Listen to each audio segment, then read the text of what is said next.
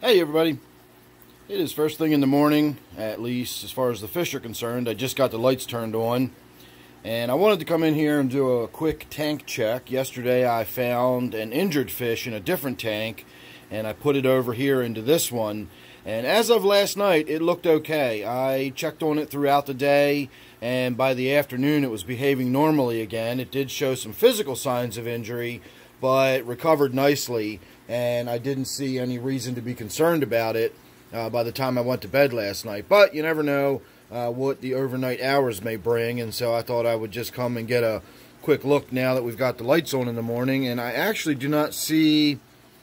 there's one of them. If you can see that fish lying down there underneath the log. That is one of the white sucker fish. Speaking of the devil, there's the other one, and that, in fact, is the one in question. That is the one that was injured. You can see how its tail's a little torn up and you can see sort of some like red, almost looked like it had some like internal bleeding inside the tail. So that is definitely the one that was injured when it went into the tank yesterday. And as of yesterday, like I said, it was behaving normally. It was swimming with the school. It ate.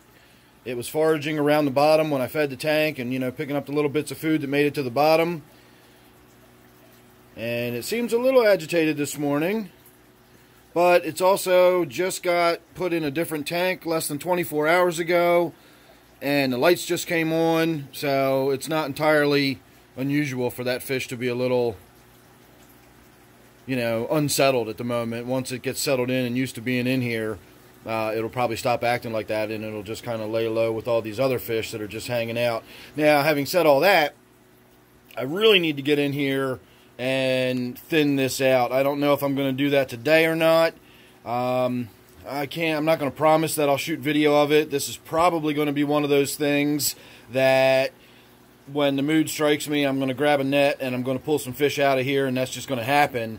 And I'm probably not going to wind up, you know, getting the camera set up and doing all that stuff. So we'll have to wait and see what happens. But I did want to just give an update and let everybody know that that right there is the injured suckerfish. It's hard to believe that thing was in my little 40 gallon tank and then from there went into that little tiny uh, shallow water that probably doesn't even hold five gallons total in that little tank it was in and uh, who knows how long it was thrashing around in that tank. So the fact that it's still alive at all is pretty impressive.